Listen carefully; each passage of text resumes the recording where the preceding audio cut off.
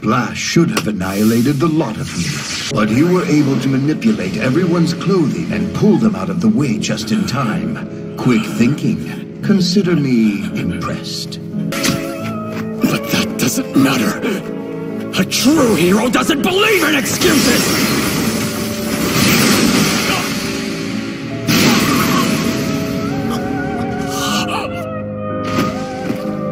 I don't need your quirk.